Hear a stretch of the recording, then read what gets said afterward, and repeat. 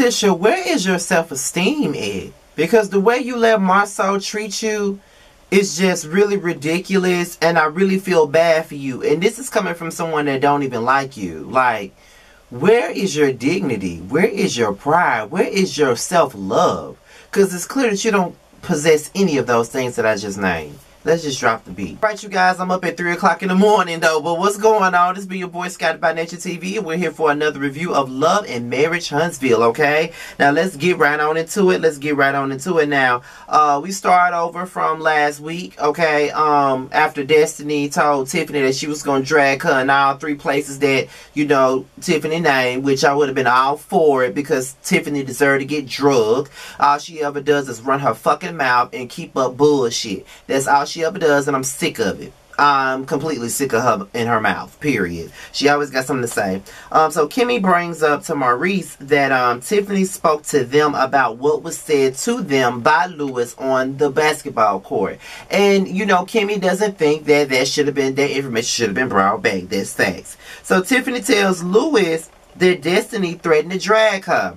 As she should have been threatening to drag you. Instead of threatening you, she should have just drug your fucking ass, okay? Because you are messy as fuck. And then you want to sit up here and make it seem like somebody just picking on you. No, you've been very antagonistic and condescending and messy since you've been in this situation. So, if whatever Destiny give your ass, you deserve it, bitch. Really. You fucking deserve it because you can't shut the fuck up. You always run your fucking mouth. Just shut the fuck up for real. I'm sick of hearing your mouth. You and this Karen ass shit. You and this Kathy bullshit. You and this Alyssa bullshit that you got going on. I'm gonna need for you to stop it. Stop acting like you innocent in this situation because you fucking not, okay?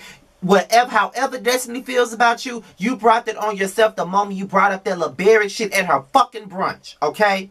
So you brought that on yourself. Don't nobody feel bad for you. Shut the fuck up. So then Destiny and Melody have a conversation, mainly about Tiffany.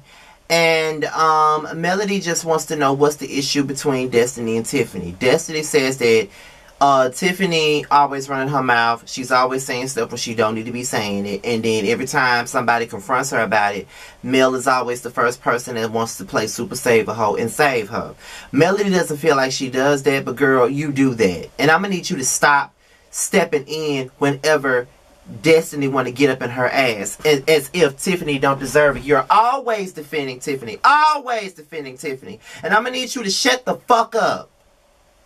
For real. Because you've been looking out for Tiffany way more than you've been looking out for your so-called friend, Destiny. And you've been pissed at Destiny ever since Destiny did not tell you about that fucking divorce right away. Okay? So that's what you're really mad at. So stop trying to play me and everybody else and act like you ain't got no problem because you got one. You stay defending Tiffany. But then, you know, Mel feels like Destiny is jealous of her friendship with Tiffany and thinks that um, Tiffany is going to um replace her and she ain't got nothing to worry about. Oh, she got something to worry about, honey. So then um Tisha informs Marsau the conversation that Tiffany brought to her and the girls about what Lewis brought to her about what Marsau said about her. And they start having this conversation about, you know, the cheating rumors and how she do be feeling some type of insecurities about how he's never around when it's her and the kids and things of that nature. You know, and I understand that, you know, um, Marsau was working a lot, so he's really focused on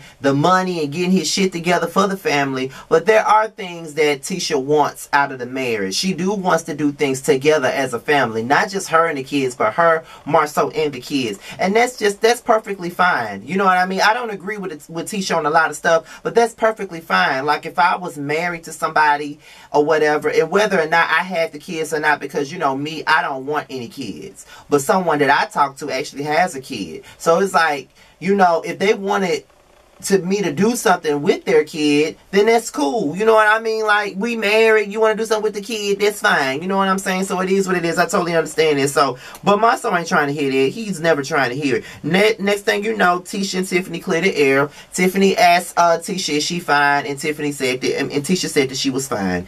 Uh, you know, Tisha tells Tiffany Lewis that she wanted to surprise Marsau with a vow renewal, but she just had this conversation with Marsau and he don't want to do nothing like that. He just want to do something with just her and um and not the rest of them. But Tiffany and Louis convinces her to go ahead and do it anyway. Big mistake. The woman just told you she talked to her man about it already and he don't want to do it. But y'all gonna tell her to do it anyway? Messy as fuck. Okay, so it's the last night. They get on the bus and the girls discuss their night out. There was some lap dances going on. There was some wardrobe malfunctions. There was a whole lot going on. Melody tells um, Martell that he looks nice. He do. Martell is fine as fuck to me. I'm sorry. Toxic, but fine as fuck. He just can't dress. But that one time he did look good. Um, they go to a wedding chapel. Uh, Marsau was not here for this wedding chapel shit. He is not here for it at all. Um, you know, he, um, yeah, um, he's not here for it at all. Um, you know, he's just like, I don't want to do this and all of this other stuff. So everybody trying to convince him to do it, but he just doesn't want to do it. And Tisha looks embarrassed as fuck. Louis and Tiffany go on and renew their vows. Marsau just doesn't care how he makes Tiff, uh, Tisha feel. Like he's straight up making her look stupid. And Tisha just sitting up here taking it. Melody called Marsau out on the bullshit, basically saying it's fucked up how he couldn't just get up in front of everybody and declare his love for her. I agree. If you didn't want to do the vows, you could have just declared your love for her. Um, Melody checks on Tisha and she tells Tisha the same thing that she said in front of everybody else. So I may not care for Melody at this point, but I do understand where she's coming from. Then they got the last dinner. Kimmy brings up marriage and brings up how she was with, how everybody celebrated Merci. Uh, Melody and Martell's 10 year. Now they celebrating Tisha and uh, Marsau's 15 year. So it's like Melody is annoyed because everybody keeps on bringing up the fact that her and Martell would never get back together. People do got to let that go. Somebody keep, um, somebody told me that one of my exes told me that their family wants me to get back with him. Baby, we, we ain't been together in almost 11 years now. I don't want to be back with you and I don't want to deal with you or your fucking family, okay? I'm friends with your brother and that's it. Don't want to be, no, so stop it. People just don't know when to let shit go.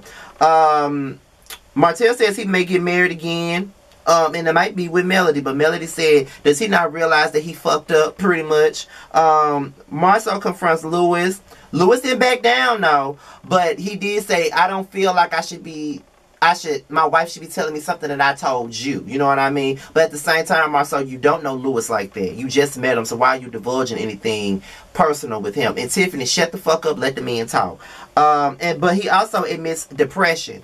Marsau, um, admits to depression or whatever. Um, and I kind of feel bad for him, but I, that could be the reason why he treating Tisha a certain type of way. I honestly don't fucking know, to be honest. But I guess we'll get more into it. So he died, basically diagnosed himself with depression. That's sad though. But with that being said, y'all, this is my review on Love and Marriage Huntsville. Be sure to like, rate, comment, and subscribe. Also, if you want to be notified for a video, just click that notification bell. If you want to follow me on social media, my Twitter and my IG will be down below in the description box. If you want me to follow you back on IG, just DM me Hashtag Team Scotty, and I definitely follow you back. I do follow back. With that being said, you guys, I'm out of here. Until my next video, I'll holler at you later. Peace out. We can always find our way to a fun moment, even in the shady bunch.